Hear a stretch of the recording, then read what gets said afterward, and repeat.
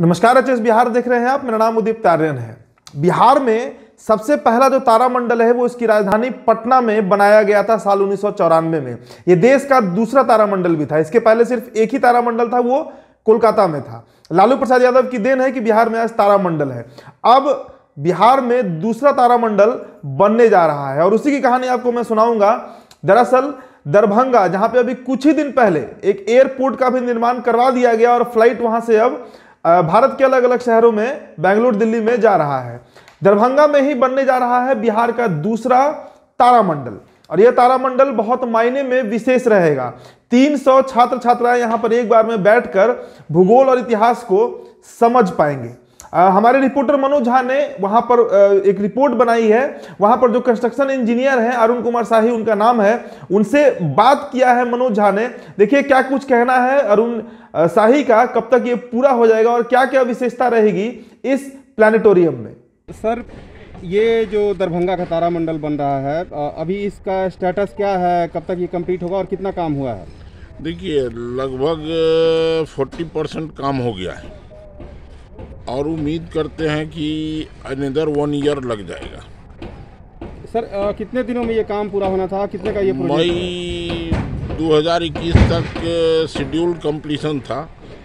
और कोरोना इस सब के कारण थोड़ा डिले हुआ है तो हम उम्मीद करते हैं कि दिसंबर इन तक दिसंबर 21 तक हो जाना चाहिए। सर आ, क्या महत्व है इस प्रोजेक्ट का? आप लोग तो इसको बना रहे हैं। ये प्लेनेटोरियम जो है यहाँ के जो लोकल हैं उन लोग के लिए बहुत ही नॉट ओनली लोकल मन मीन्स स्टूडेंट के लिए भी सीखने का प्लेनेटोरियम के बारे में सीखने का जानने का मौका मिलेगा। और साथ साथ एम्प्लॉयमेंट में भी ये होगा एक आजकल देखते हैं कि हर जगह मॉल और ये सब तरह का साइंस टेक्नोलॉजी और अदर थिंग पर प्रोग्रेस हो रहा है।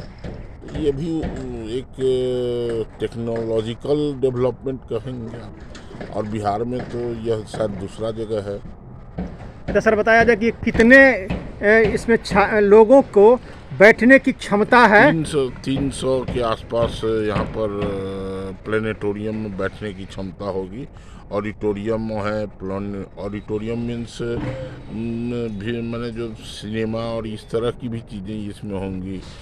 कैफेटेरिया सिस्टम है, मैंने लोग खाएँगे पिएँगे मैंने कुछ तो डेवलप होगा और कुछ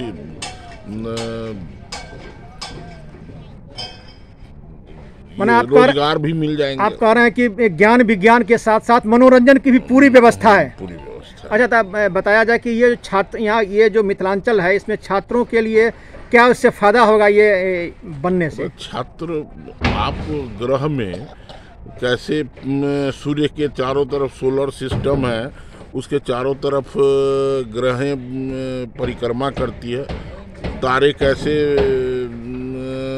सोलर सिस्टम में आपका सौरमंडल में मूव करते हैं इसी सब के बारे में जानकारी होगा।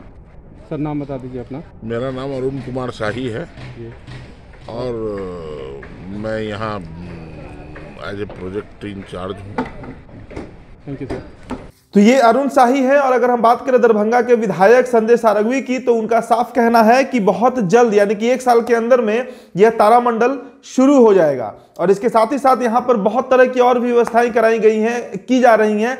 इसमें कैफेटेरिया रहेगा, जहाँ लोग आकर अपना समय बिता सकेंगे। दरभंगा का ग्रोथ तेज़ी से हो, इसे लेकर सरकार सजग है।